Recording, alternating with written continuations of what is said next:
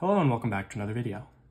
In this problem, we're told that this table shows the position of a motorcycle after accelerating from rest, where we have t in seconds, time, and s distance in feet. And we're asked to find the average velocity from each time period for 2, 4, 3, 4, 4, 5, and 4, 6. And so what this is going to be is the slope between these two points, where the point isn't 2, 4, it's 2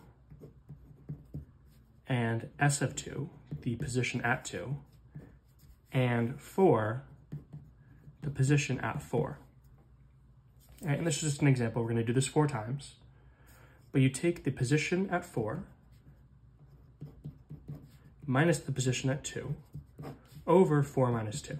Right, this is the change in y over the change in x, and this is going to be your slope. So for example, S of 4 is 79.2, and so we'd be plugging that in. And so to save us from doing the same calculation over and over again, I've gone ahead and done it ahead of time, where, for example, for 3 and 4, we take the position at 4 minus the position at 3 divided by 4 minus 3, and that gives us 32.7. So you can just pause here if you want to take these values. And that is part A. In part B, we're asked to use the graph of s as a function of t to estimate the instantaneous velocity when t is greater than 3. And so I've plotted these points in Desmos.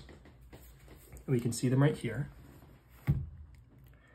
And specifically, we want to focus on this black point right here, because that's at 3. So in order to estimate between, um, or rather at t equals 3, we can take t equals 4, which is at 75, and t is at t equals 2, which is at roughly 25, and say, okay, we want to find the slope of the line between them. So we can say, okay, it's roughly equal to 75 minus 25, right, which is the distance in y values, over 4 minus 2. So if it's roughly 75 minus 25, which is 50, divided by 2, it's roughly 25. This is just by looking at the rough graph, as opposed to the actual calculation that we did originally, which is the exact values, 79.2 and negative 20.6.